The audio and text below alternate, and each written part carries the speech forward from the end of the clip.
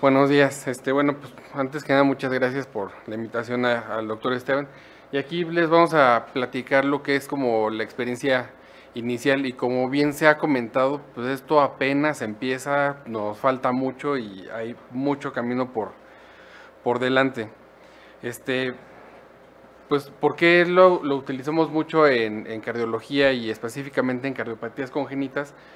Uno se ha mostrado la utilidad y otro, conforme también avanza la tecnología y el conocimiento médico, entonces también nuestros pacientes, digamos como que al detectarse la cardiopatía de manera prenatal, se eh, digamos como que nacen ya en centros especializados, sobreviven, entonces nos va exigiendo en precisar el, diagnóstico eh, eh, en nuestros pacientes. Entonces por eso es que pues ya al digamos como que exigirnos más precisión, entonces necesitamos darle más información tanto al clínico como al cirujano para poder este, definir. Y bueno, yo creo que la explicación previa estuvo bastante bien. Yo ya no me voy a meter en eso que estuvo muy bien. Y, es, y efectivamente, las imágenes cardiológicas a partir de tomografía o resonancia y efectivamente como tienen mayor resolución las tomografías, entonces a partir de ahí es como hemos tomado nuestras imágenes. ¿Sí se escucha bien? Entonces, bueno, pues es también como que parte de la evolución de los equipos es que nos han ayudado, ¿no? Entonces, esta es una de las primeras imágenes tomográficas en las cuales, pues finalmente, pues se hacía este corte y pasaban varios segundos y avanzaba la cama y así, entonces aparte de que era muy lento, entonces la resolución era pues muy pobre. Y actualmente, bueno, pues también ya con la el aumento de la velocidad y resolución de los equipos, pues también una estructura que antes era difícil de adquirir porque es una estructura móvil, pues, el corazón, entonces ya nos podemos ir este, pues, definiendo mayor, ¿no? Entonces incluso hasta trayectos coronarios, entonces es lo que nos ha ayudado. Y bueno, y finalmente, como en quiénes en quién nos hemos inspirado, bueno, este es un doctor de, del hospital de, del Sick, el Sick Kids de, de Toronto, quien es de los que empezó o o ha desarrollado más la, impresión 3D en cardiopatías congénitas. Entonces es de los que su impresora de tinta la adaptó y se la llevó a su casa y a partir de tomografía se empezó a desarrollar esto y ahorita es de los hospitales líderes en impresión 3D en cardiopatías congénitas. Y en cuestión a nosotros, bueno, ya con ese antecedente, pues esto es, se puede decir que fue nuestro como primer caso, ¿no? Es una niña de 12 años de, de edad que a lo largo de toda la vida estuvo así como con enfermedad, enfermedad así respiratoria, la trataban así como asma, como alguna alteración de, de laringe, porque todo el tiempo estaba con estridor, hasta que, bueno, alguien ya cuando la valoró en condiciones normales, no enferma, continuó escuchando el estridor, le pidió la tomografía y lo que se observó fue una disminución del calibre de, de la tráquea y ya cuando se vio el trayecto vascular, entonces aquí se ve la aorta que va un arco órtico derecho y aquí se va un arco órtico izquierdo. Y ya de lado aquí se ve la, disminución del, calibre. Entonces ya cuando el cirujano nos lleva la, tomografía, este, bueno, existió la, inquietud, ¿no? Ya cuando le explicamos al cirujano, este, ya con esta imagen y de repente decía, es que no sé cómo hacer la planeación, yo creo que voy a cortar este, este arco para liberar ese, ese anillo, pero como que no quedaba muy, muy claro, entonces ahí es cuando fue toda la inquietud, se imprimió el, esto por, por primera vez. También cabe mencionar que, bueno, el paciente se operó y ya para fines de enseñanza y todo es que se, se imprimió. Entonces, este, bueno, es un arco órtico derecho, este es un arco órtico izquierdo y ya una vista por atrás, aquí cerraba el anillo.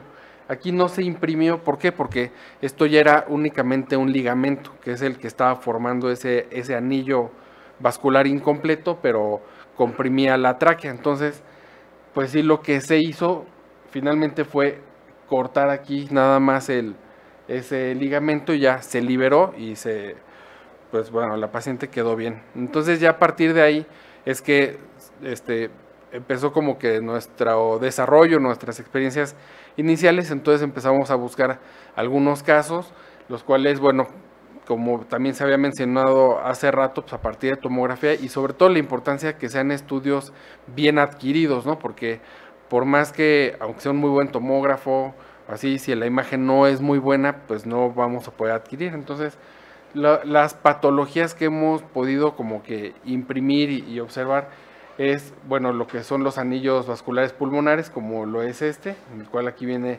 el tronco de la arteria pulmonar, esta es la arteria pulmonar derecha, esta es la izquierda, la cual vean cómo gira así, y aquí rodea a la tráquea. Esta paciente este, tenía también obstrucción de, vía aérea, y bueno, aquí se, se imprimió esta pieza, y ya nada más, también lo que hace rato comentaban de que este, qué escalas, pues no se pueden imprimir escalas 1 a 1 o bien este, más grandes. Entonces, esta fue de escala 1 a 1. Este, patologías como tronco arterioso común, interrupción de arco órtico, coartación de aorta. Y bueno, y a partir de aquí también la, inquietud, no, no, nada más como imprimir estructuras extracardíacas, sino también ir dentro del corazón, que es algo como un reto, ¿no? O más bien lo que también se le da mucha, mucha información a, los cirujanos. Entonces, a partir de ahí, ya también este, patologías como tetralogía de Falot, doble salida de ventrículo derecho. Entonces, esas son las que nos ayudan. Y bueno, y la estenosis valvular pulmonar, que ahorita vamos a ver. Y el doble arco órtico es lo que ya habíamos mencionado. Entonces, bueno, este es un tronco arterioso común, el cual aquí de este solo tronco sale la aorta y aquí un casi nada de tronco de la arteria pulmonar y luego, luego se va el tronco, la rama pulmonar izquierda.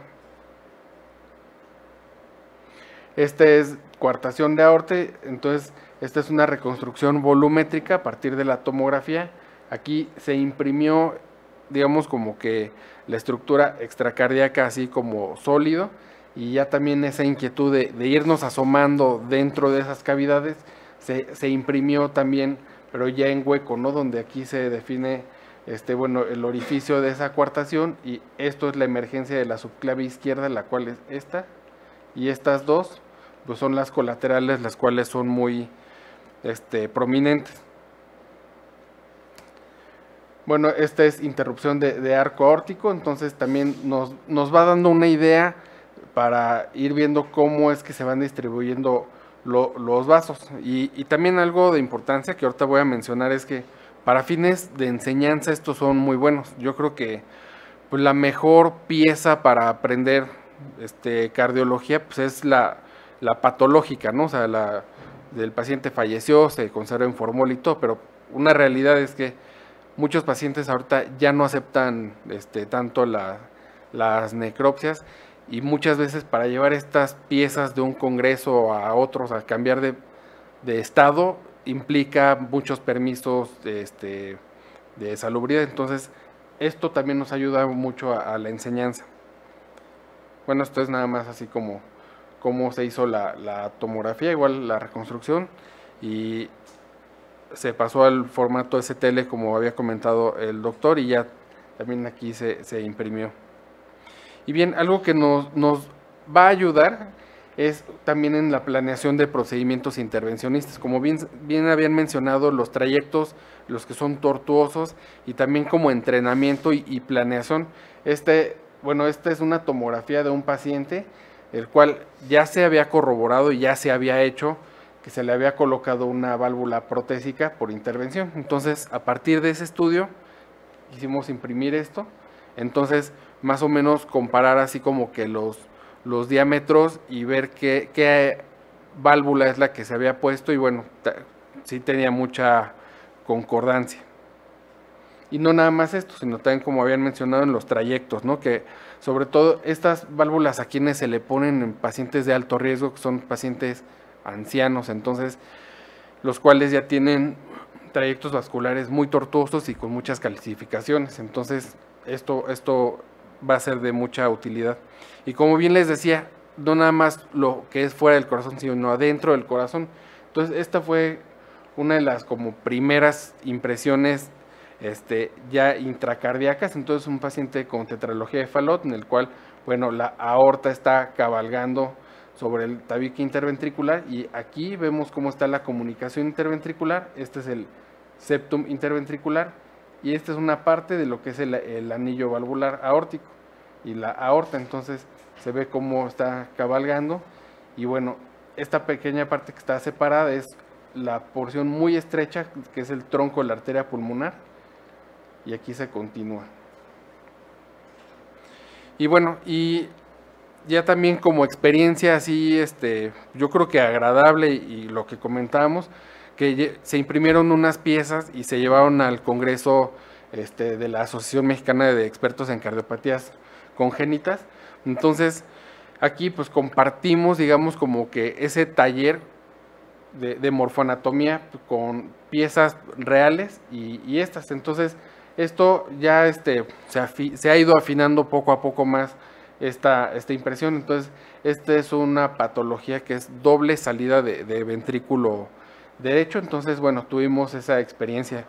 Y, también lo que les digo, la fácil, esta, estas piezas ya son del laboratorio de patología de Monterrey y pedían que nos lleváramos unas piezas desde aquí, pero les digo, ahorita ya es muy difícil estar pidiendo los permisos para andar transportando corazones así, entonces pues esto también nos es de gran utilidad.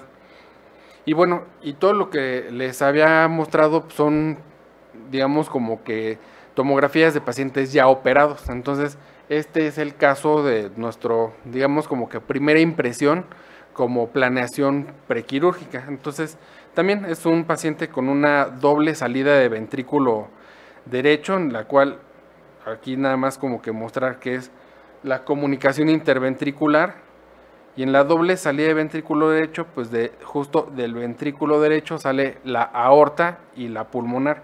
Y aquí lo que quedaba duda, tanto por ecocardiograma como por justo aquí la tomografía, ahorita van a ver cómo, bueno, esta es la aorta porque aquí están las coronarias y esta es la pulmonar.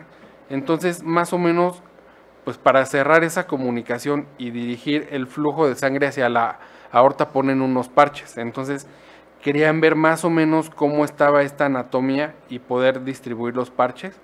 Entonces, ya también este, bueno, se imprimió la pieza, entonces la cual aquí se ve lo que es la comunicación interventricular y aquí se ve lo que es la aorta. Entonces, esta es una patología que se llama comunicación, este, perdón, doble salida con comunicación interventricular no relacionada. O sea, la C y B está muy lejos pero entonces queríamos ver hacia dónde quedaba más cerca y para poder poner el parche, entonces se veía que se dirige un poco más hacia la, hacia la aorta, o sea, hay muchas variedades de cómo se distribuye. Y dentro de las impresiones intracardíacas, ya como que se ha demostrado que, y a través de varios artículos, que justo en esta patología, doble salida de ventrículo derecho es donde más utilidad este, va, va teniendo. Y bueno, ahorita ya, ya estamos terminando. Y esta es, bueno, una de las como fotos de, del cual con el grupo de los que nos están ayudando a, imprimir piezas, pues se juntaron a varios servicios de ahí del Instituto de Cardio, es electrofisiología, cardiopatías congénitas, cirugía clínica y bueno, también cirugía. Entonces, para ir viendo cómo, o sea, qué utilidades va teniendo en cada uno de los servicios. Y también como bien decimos, estamos aquí como aprendiendo, el chiste también no es nada más como encapsular, sino todo esto aplicarlo para, para crecer. Ahorita esto lo estamos aplicando de forma inicial en el Instituto de Cardio, pero ya también hemos apoyado en la impresión 3D a hospitales como el Hospital Infantil de México. Entonces, el chiste es como ir, ir contribuyendo. Y bueno, y aquí, este, pues, ¿qué es lo que viene y es lo que necesitamos? y, ya este, también con la nueva tecnología que ya está en Toronto, pero ya también está por llegar aquí a México. Esta es una pieza de un paciente con una este, tetralogía de Falot, la cual en Toronto ya hacen este curso en la cual planean la, cirugía e incluso hasta suturan ¿no? el paciente, cortan el, como que esas zonas estrechas, ponen parches y amplían. Entonces esto ya también está como por por llegar y también las nuevas impresoras que nos van a ayudar mucho a comprender bien esa anatomía. Este es un ejemplo de una válvula mitral, la cual ya está también hasta incrustada aquí con, con calcificaciones. Y este es este, bueno, nuestro maestro de embriología cardíaca, el doctor Luis Muñoz, allá en el Instituto de, de Cardio, en el cual se pues, está analizando una de las nuevas piezas, ¿no? Como pues toda la, experiencia este, pues, clínica y todo con, con lo nuevo pues, se, se, va fusionando y pues todos, todos vamos este, aprendiendo. Muchas gracias.